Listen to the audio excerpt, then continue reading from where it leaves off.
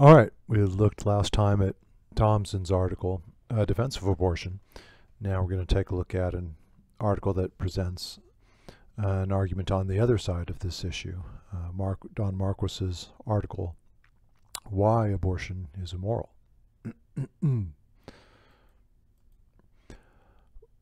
Marquis writes that abortion is, except possibly in rare cases, seriously immoral.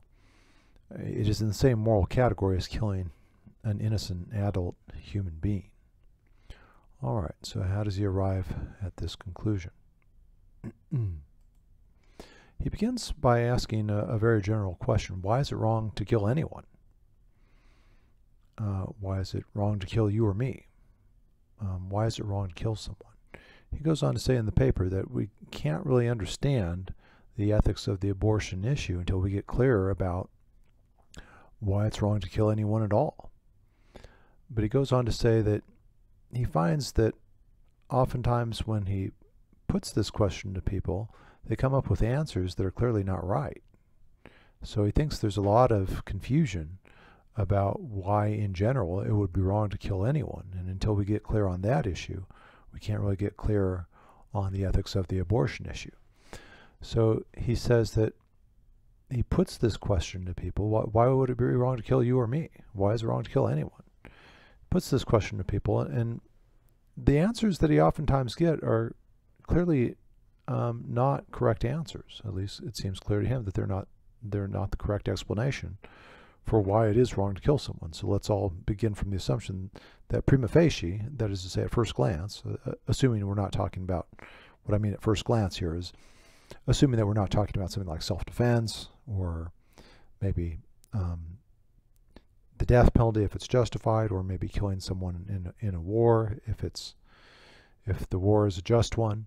Here again, putting those kinds of cases aside in which killing might be morally justified, just in general. Here again, um, why is it wrong to kill someone? Why is it wrong to kill anyone at all? Why would it be wrong to kill you or to kill me? One answer that people oftentimes give to this question is this um, it's wrong to kill someone because it coarsens the killer. That is to say, it desensitizes the killer to the badness of killing. So this is one answer that Marquis sometimes gets to this question.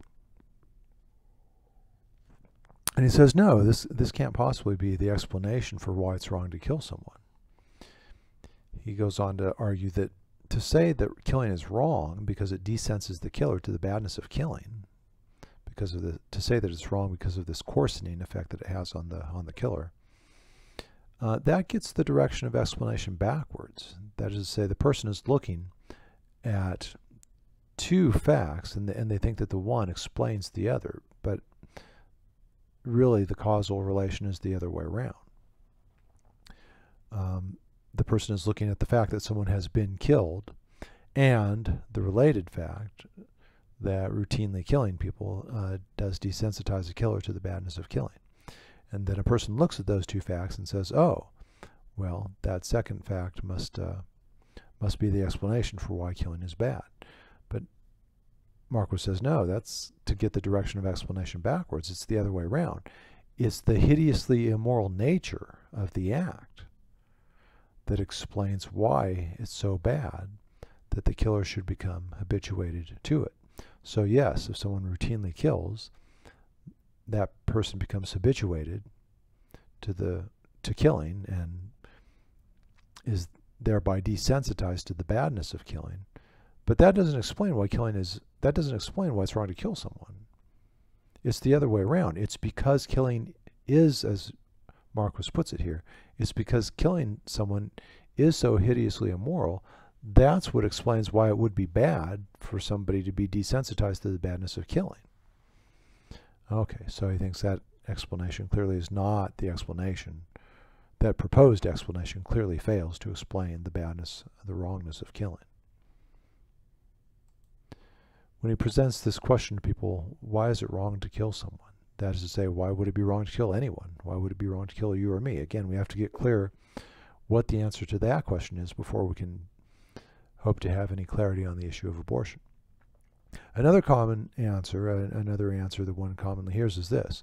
it's wrong to kill someone because of the loss to the family and friends. Marquis thinks that that too clearly is not the explanation. Um, he says, no, for one thing, that wouldn't explain the wrongness of killing someone who has no family or friends. If someone was a hermit, someone had no family or friends, would that make it any less wrong to kill that person? I think most of us would agree, no, that would not be any less wrong to kill that individual just because that individual has no family or friends. So that clearly can't be the explanation.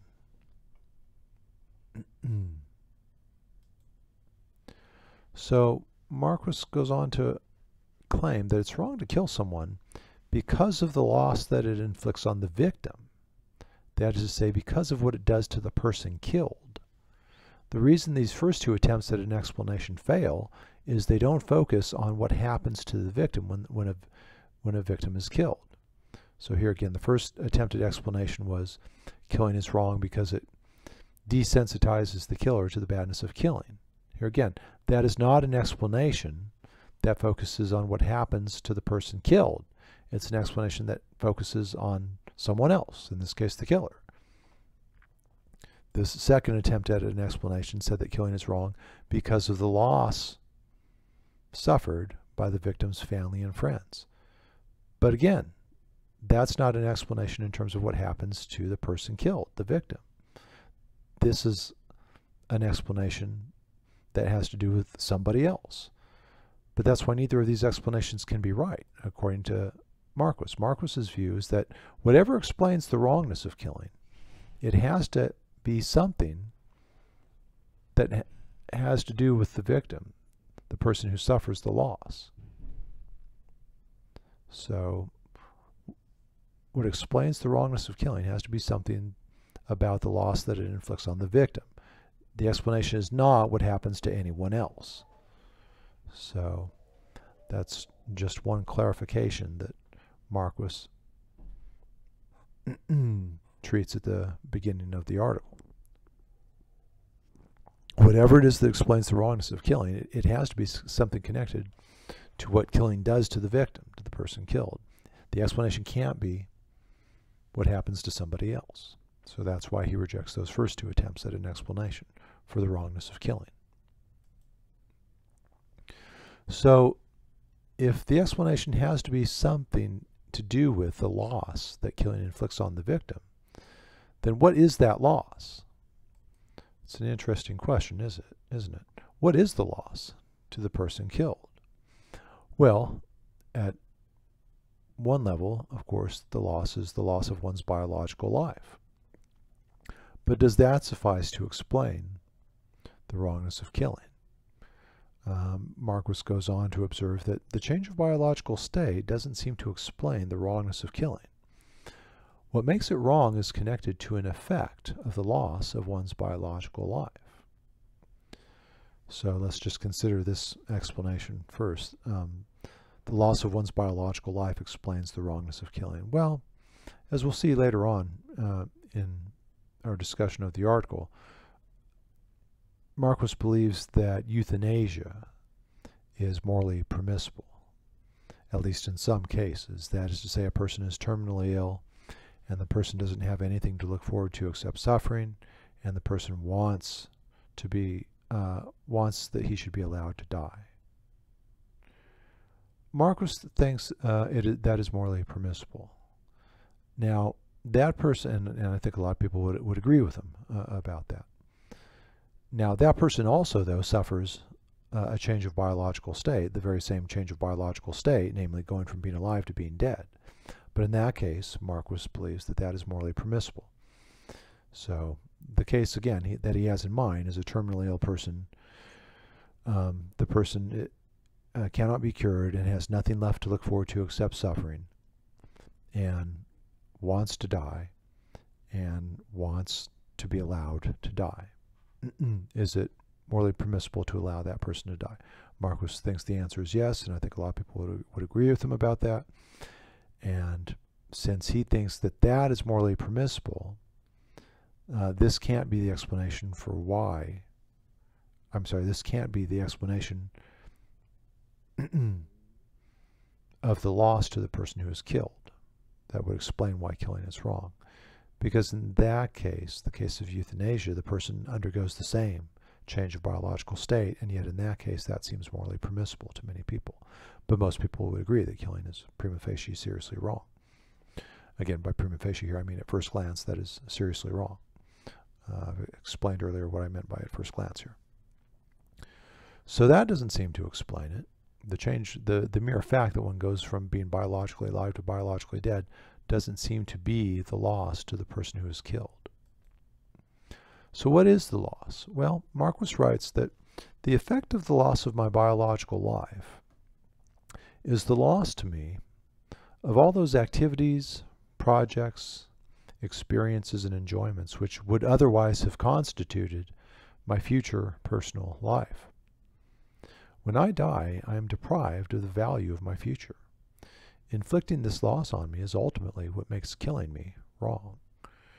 So, on Marquis's view, it isn't the mere loss of one's biological life that explains the wrongness of killing. It's, again, an effect, a natural effect of the loss of one's biological life. And the effect is the loss of all these sources of value that would otherwise have been one's future.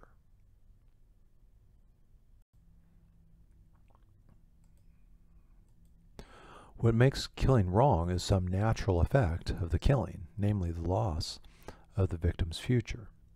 So Marquis's view is known as the loss of future account of the wrongness of killing.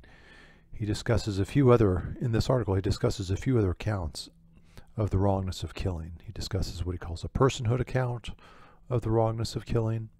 Uh, that tends to be associated with utilitarian philosophers, but not them only. Um, he also discusses what he calls a sanctity of life account of the wrongness of killing. and both of those views are different from Marquis's account.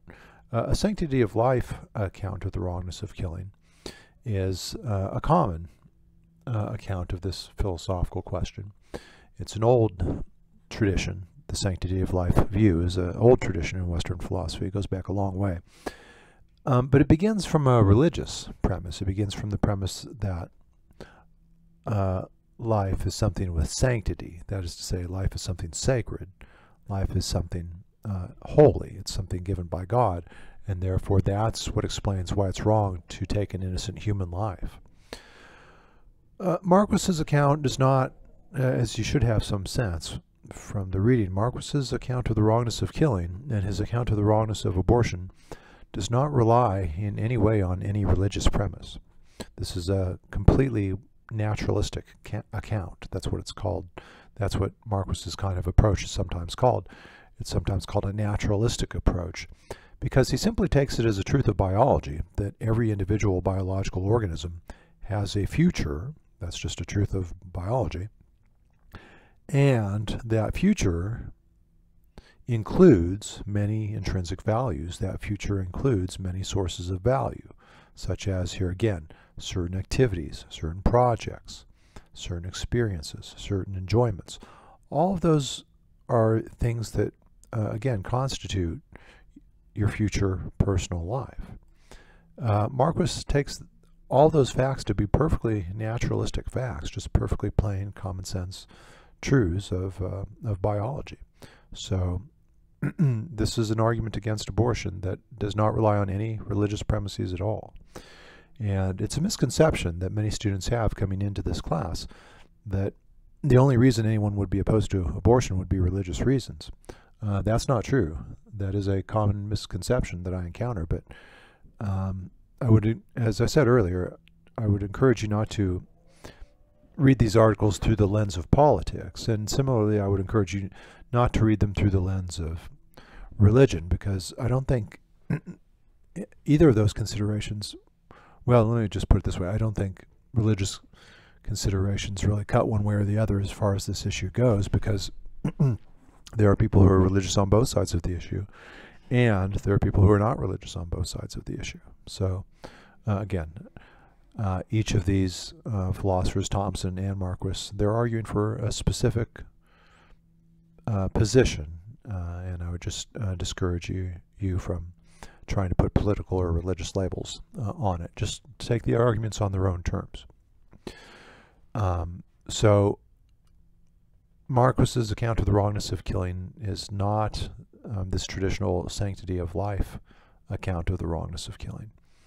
Um, for one thing, that view has the consequence that euthanasia would also be morally wrong, uh, but Marquis doesn't believe that, so we'll come to that a little bit later in the article. He believes that uh, euthanasia may be morally permissible. That is to say, if someone is terminally ill and doesn't have anything to look forward to except suffering and wants to be allowed to die, then Marquis believes that uh, in many cases is morally permissible because in that case uh, it's true that there may be no value left in, in the person's future. Marquis does not think that's a very common kind of case. He also talks later in this paper about a person who is suicidal and um, he seems to think, just going off that one example that he discusses, that oftentimes when people believe their, their future has no value, that's not true. Their beliefs about the value of their future oftentimes are false. They falsely believe that their future has no value, but it really does. And, and that's why we should encourage people not to commit suicide. That's why we should, we should discourage people from committing suicide. That's why we should encourage people to try to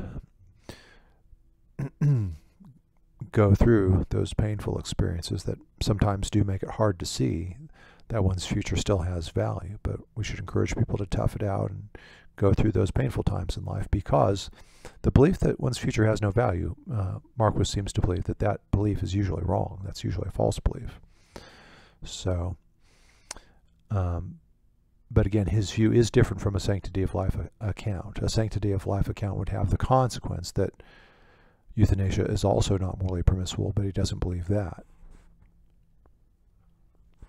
And as we'll see later in the paper, on sanctity of life views, um, birth control is not morally permissible either, but Marquis doesn't believe that. So the sanctity of life uh, account of the wrongness of killing is one that begins from specifically religious premises, but um, but Marquis is approaching the issue in, entirely in terms of um, premises that do not rely on any particular set of religious beliefs or on any religi religious beliefs at all. And he also mentions personhood views, and as I uh, mentioned earlier, a personhood account of the wrongness of killing. And on a personhood account of the wrongness of killing, what makes killing someone wrong is that a person has desires uh, to go on living, uh, a person is able to value his or her future. But on those kinds of accounts, typically personhood is seen as something that doesn't develop until until childhood. Um, so on those whose the fetus is not seen as a person. Um, from Marquis's point of view, it doesn't matter whether the fetus is a person. Uh, his that would not, not, even if the fetus is not a person, that does not in any way affect that does not in any way affect his argument because his argument is in no way based on the premise that the fetus is a person. He takes it as a simple, uh, again, truth of biology, that a fetus is an individual biological organism, and every individual biological organism has a future of value. Whether it's a person or not, it already has that. And that's what explains why it would be wrong to kill you or me. It would be wrong to kill you or me because it would deprive you of the value of your future. That's the property that explains the wrongness of killing on Marquis's approach, namely having a future of value. That's a property that the fetus has. And so from Marquis's point of view, um, as we saw him say at, at, the outset here on the first slide here, uh, Abortion is prima facie seriously immoral, just as immoral as killing an innocent adult human being, because they both have the property that explains both a fetus and a human, uh, an adult have the same property that explains the wrongness of killing. Uh, again, they both have a future of value, and it's taking away all the value of someone's future that explains the wrongness of killing on Marquis's account. So again, Marquis's account of the wrongness of killing is oftentimes called the loss of future uh, account of the wrongness of killing. So the loss of future account explains, uh, Marquis says, the wrongness of killing generally. It explains the badness of dying, and it explains in particular why it would be wrong to kill infants and children. Um, it's a problem for personhood accounts of the wrongness of killing that on that account it would be morally permissible to kill an infant or to kill a child, even a very a very small child, because on those kinds of accounts, personhood as a psychological concept, personhood is the concept of psychological continuity. That is to say, when you can begin to conceive of yourself as existing over time, as existing in the future, when there's a kind of psychological continuity that begins to kick in. So think back to how far you can remember. For most people, that's four years old, maybe maybe three years old. It's really only at that point that psychological continuity kicks in, and and that you're psychologically connected now to earlier stages of yourself. How far back? Going back typically like four, or maybe in some cases for some people three. Um, that's really when personhood begins, is when this psychological continuity begins, where you're aware of yourself as existing over time. That's the concept of, of personhood as it's most commonly used in psychology anyway. as I said a moment ago, oftentimes supporters of abortion are basing their argument on what is called a personhood account of the wrongness of killing, and and, and Marquis does discuss this uh, this kind of account uh, a little bit in the paper, but again, that's not his account. His on his account, it doesn't matter whether the fetus is a person or not. A problem for that view, here again on a personhood account, abortion is morally permissible because the fetus is not a person. But a problem for that view is that on that view, infants and the very small children are also not uh, are also not yet persons. And yet, it's obvious that it would be wrong to kill an infant or a child. So those kinds of views have a problem with explaining why that's wrong. so Marquis argues that um, the loss of future account explains uh, a number of things that have to be explained by any adequate account of the wrongness of killing. Uh, on page 350 he says, this theory explains why we, we regard killing as one of the worst crimes. Killing is especially wrong because it deprives the victim of more than any other crime. In the second place, he says, um, this theory, uh, people with AIDS or cancer who know they are dying believe, of course, that dying is a very bad thing for them. They believe that the loss of a future to them that they would otherwise have experienced is what makes their premature death a, a very bad thing for them. So Marquis says that his loss of future account of the wrongness of killing and the badness of dying can't explain why, here again, uh, murder is the worst crime. It can explain why for someone to die prematurely is, is, is especially bad, why premature death is, is an especially bad thing, because that person still had so much value left in his or her future.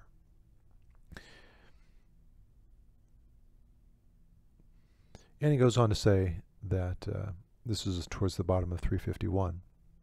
He says the claim that the primary wrong making feature of a killing is the loss to the victim of the value of its future accounts for the wrongness of killing young children and infants directly.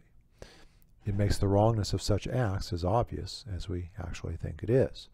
So his point is that it's obvious that it would be wrong to kill an infant or to kill a small child, and yet personhood accounts are not able to explain why that would be wrong because an infant and a very or a very small child is not yet a person say a one year old or a two year old still is not a person as, as that term is used in psychology as that term is used in these personhood accounts. But that's a problem for that kind of account. That's a problem for that kind of theory because it's obvious that killing infants and children is wrong. So Marquis advocates what has come to be known as this loss of future uh, account of the wrongness of killing, and he thinks that that explains a number of general moral uh, truths. So on Marquis's account, the property that explains the wrongness of killing, namely having a future of value, or he sometimes puts it this way, having a future like ours, that's a property that the fetus shares with adults. So again, what would make it wrong to kill you? Well, you have a future of value. Okay. Well, if that property explains why it would be wrong to kill you, then it also explains why it would be wrong to kill a fetus, because a fetus has that same property, namely a future of value. So this is also sometimes called the future like ours account of the wrongness of killing. And to see that a fetus has a future like uh, like yours uh, is not hard to see. What are some of the things that make your future valuable now? Just ask yourself that. Well, all those things that make your future valuable to you now, all those things were in your future when you were a fetus too. There was a time when you were a fetus. So everything that was in your that is in your future now was in your future when you were a fetus. Here again, many things, of course, that were in your future when you were a fetus. Now, of course, that's in your past. So your fifth birthday and so forth, obviously that's in your past now. That was a part of your future when you were a fetus. But of course, there's still a lot of things that make your future valuable now. And of course, all those things were already in your future when you were a fetus. So this is the property that explains the wrongness of killing, according to Marquis. Um, we've seen that on other views, there are other properties that explain the wrongness of killing. On a personhood approach, the wrongness of killing is explained by the fact that a person has a desire to go on living. So the wrongness of killing would be, in part, that it conflicts with the desire of a person.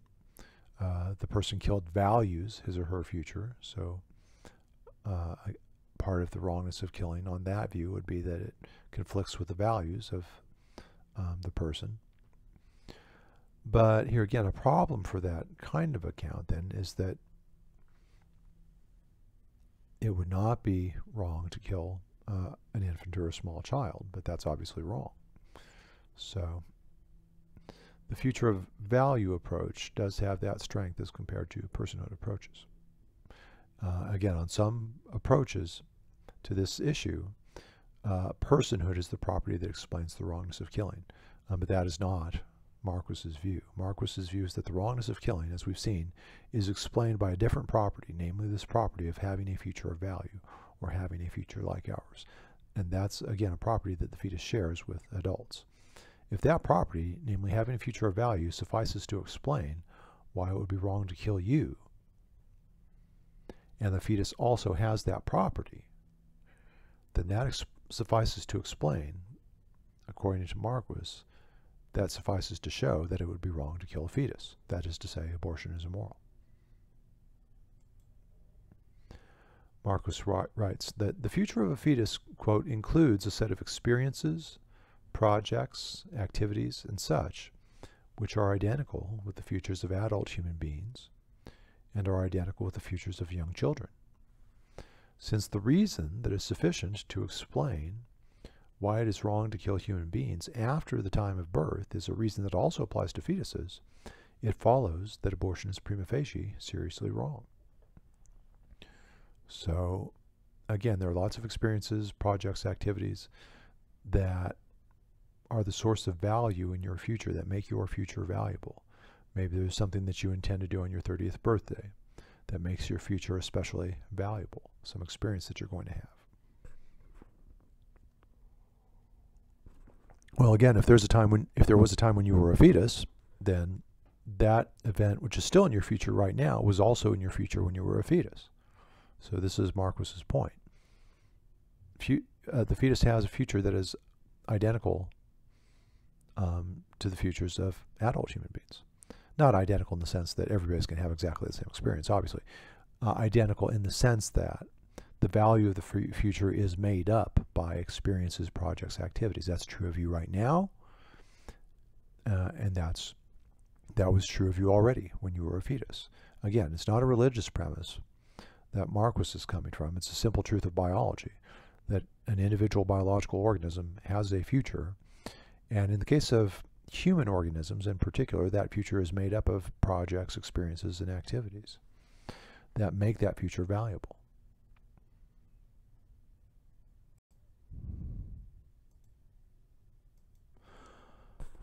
Marquis writes that the category that is morally central to this analysis is the category of having a valuable future like ours. It is not the category of personhood. So there are other, are other accounts of the wrongness of killing, other philosophical accounts of why it's wrong to kill someone. a different kind of account from Marquis's, one that he discusses in the article, in order to explain the difference between his view and this other view would be a personhood view. And on personhood accounts of the wrongness of killing, it's wrong to kill someone because it conflicts with that person's desire uh, to go on living, it conflicts with that person's plans for his or her future. But all those considerations really only apply to persons um, as that term is used in psychology, that is to say person, um, as that term is used in psychology, as it's used in philosophy of mind, personhood really only begins in childhood. That is to say, when psychological continuity kicks in. That is to say, when the different psychological stages of your life begin to be connected such that you can reflect on your past uh, and, and, and look forward to your future and conceive of yourself as existing uh, in the future. Conceive of yourself as, existing in time over time. When you become self-aware, that's where personhood begins, and that's in childhood. It's basically as far back as you can remember. If you can remember back to five, for some people maybe four, for some people maybe even three, that's where your psychological continuity begins. It's really only at that point that you become a person. And so on that view, on that kind of a view, uh, abortion is morally permissible. But here again, as I mentioned er earlier, the problem with that view is that infants and very small children are not persons in that sense. Um, either uh, on that view, a fetus is not a person, so abortion is morally permissible. But the problem for that view is that on that understanding, a person, a, an infant, or even a very small child, is not a person yet either, and nobody thinks that it's morally permissible to kill an infant or a morally or a very small child. So that's a problem for personhood approaches to this issue. Now, Marquis's account of the wrongness of killing here again is based on this idea that what makes killing wrong is it deprives the individual of the value of his or her future. And again, that's a property that the fetus has, even if the fetus isn't a person at conception. It wouldn't follow that abortion is permissible on Marquis's view, because that's not the relevant property as Marquis sees the issue. If there is an entity that has a future like ours, even if it isn't a person, it has the same property that explains the wrongness of killing an adult human being. So here again, we saw that Thomson says in her article that whether the fetus is a person is not relevant to my argument. And we see Marquis saying the same thing, but for different reasons. As we saw, Thomson's view is that abortion is morally permissible in some cases, as we see. Uh, Marquis's view is that abortion is immoral, uh, except possibly in some rare cases. and on Marquis's view as well, it doesn't matter whether the fetus is a person because being a person is not the relevant property that explains the wrongness of killing, according to Marquis. All right, so that's Marquis's account of the wrongness of killing, and that's Marquis's account of why abortion is immoral. He discusses in the article uh, a few attempts to refute his account of the wrongness of killing. One criticism would go like this. You know, the concept of value implies that there is someone who values. Uh, it's not as if value just floats uh, around in the air unattached to anything. Value exists in, in the mind of an individual who values something. So the criticism would go, the concept of value implies that there is someone who has who values. But a fetus is incapable of valuing its future. So the objection would go, um, the fetus doesn't have a future of value. And of course, having a future of value is the wrongness making feature of killing, as Marquis calls it. He calls the feature of killing that makes it wrong is this feature that killing amounts to depriving the individual of the value of his or her future. All right, so that would be one objection, and that's an objection that Marquis discusses in the article. He says in reply, Well, I may think in a period of despair that my future is of no worth whatsoever, but I may be wrong. Uh, my future may be valuable, valuable to me even if I do not value it. This is the case when a young person attempts suicide, but is rescued and goes on to significant human achievements. Such young people's futures are valuable to them, even though such futures do not seem to be valuable to them at the moment of the attempted suicide. So, in reply to this objection that, look, the fetus lacks the ability to value its future, Marquis points out, look, that, that could be true of you or me at any given time. You or I might falsely believe if we're going through some painful experience, if we're going through some period of despair, if we're suicidal, we may believe in that moment that our future has no value. But typically that belief is false. And here again, no one would think that it's morally permissible to kill you or me, but that could be true of you or me. It could be true of you or me that we lack the ability to value our future because of whatever we're going through at the moment. So that's Marquis's counterexample to that objection. Another objection to Marquis's account of the wrongness of killing would be that to have a right to life, uh, one would have to have the capacity to desire one's continued existence.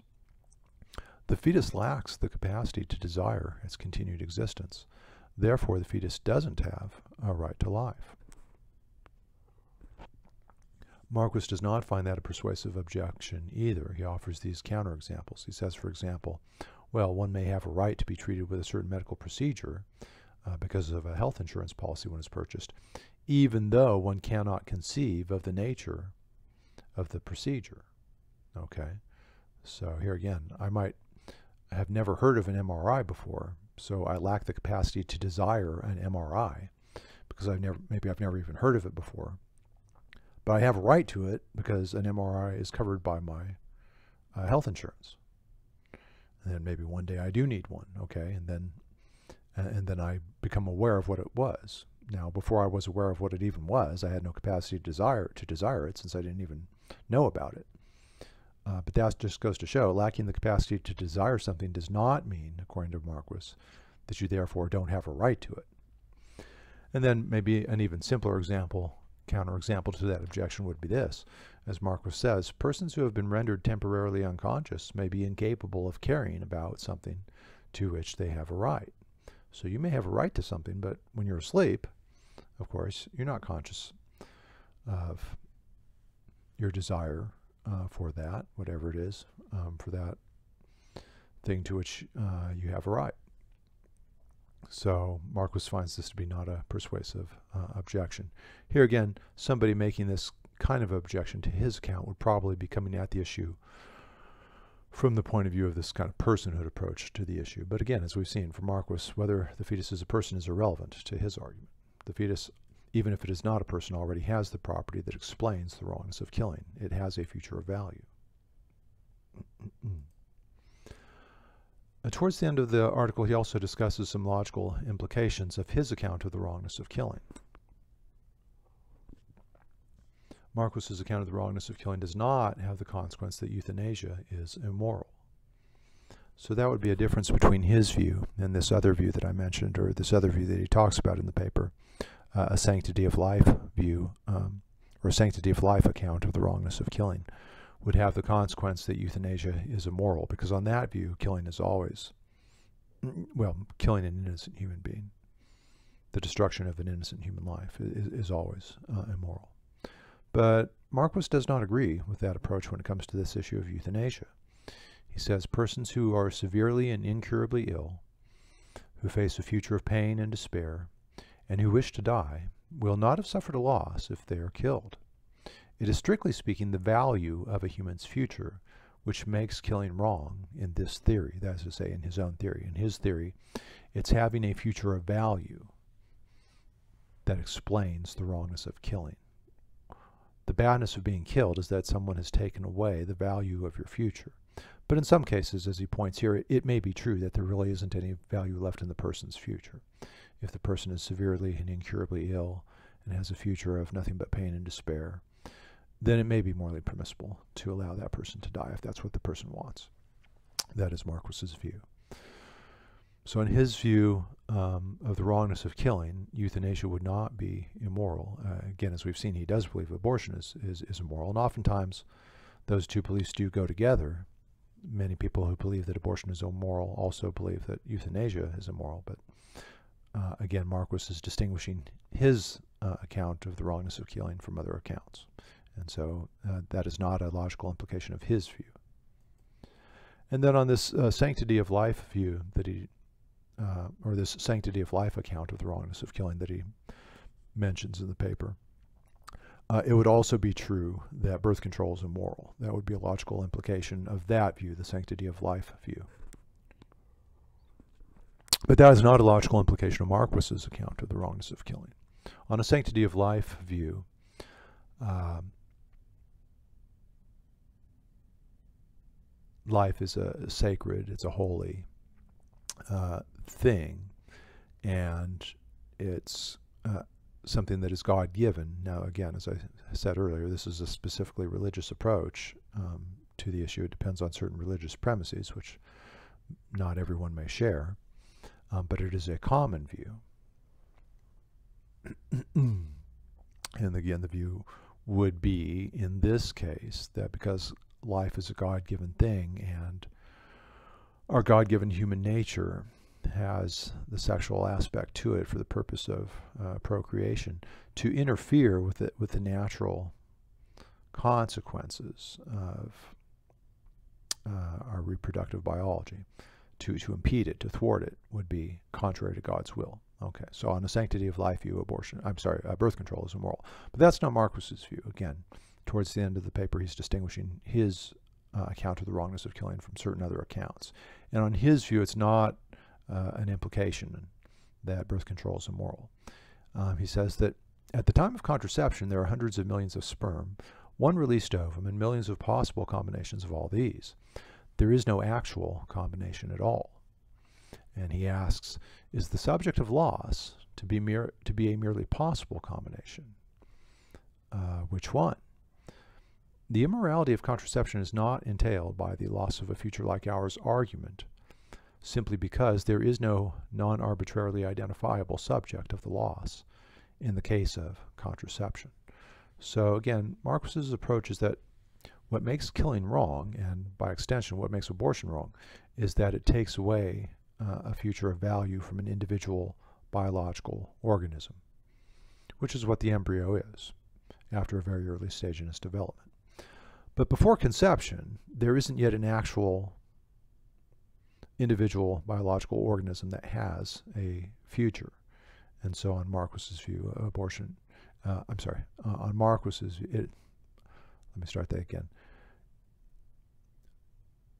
It is not a logical implication of Marquis's view that birth control is immoral.